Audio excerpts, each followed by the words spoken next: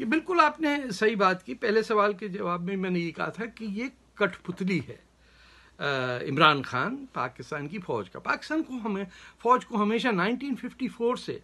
آپ کو میں اب کیا بتاؤں کہ جب کانسٹیٹیوشن بننا تھا پاکستان کا پہلے، اسی وقت گورنرز رول لگا دیے گئے تھے اسمبلی ڈیزالو کر دی گئی تھی۔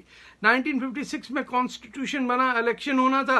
ایوب خان آگے، اور جو نیشنل پارٹی جس میں شیخ مجیب، ولی خان، یہ تمام سیاست دان تھے، اس کو الیکشن جیتنا تھا جنوری ففٹی نائن میں ان کو ہٹا دیا۔ ہر ایک کو فوج نے ہٹایا، یہاں تک کہ ذوالفقار علی بھٹو بھی پاکستان فوج کے ہی پٹھو تھے۔ اور جب پاکستان فوج نے کہا کہ یہ بک بک کر رہا ہے، اس کو ٹانگ دیا۔ بے نظیر بھٹو کو بھی مارا۔ آپ دیکھیے نواز شریف کو جیل میں کس نے بند کیا ہوا؟ ہے پاکستان فوج نے کیا ہوا ہے نا؟ تو انشاءاللہ، عمران خان کے بھی دن آئیں گے، آپ دیکھیے گا، یہ بھی کہیں ادھر ادھر لڑکے پڑے ہوئے نظر آئیں گے، آپ کو یا جیل میں بند ہوں گے۔ ان کی زیادہ شیلف لائف نہیں ہے، آپ فکر نہ کریں۔ کوئی اور آ جائے گا حسین سا ایکٹر اور ہندوستان پھر کہے گا کہ دیکھو، اس سے بات کرنی چاہیے، شاید امن ہو جائے۔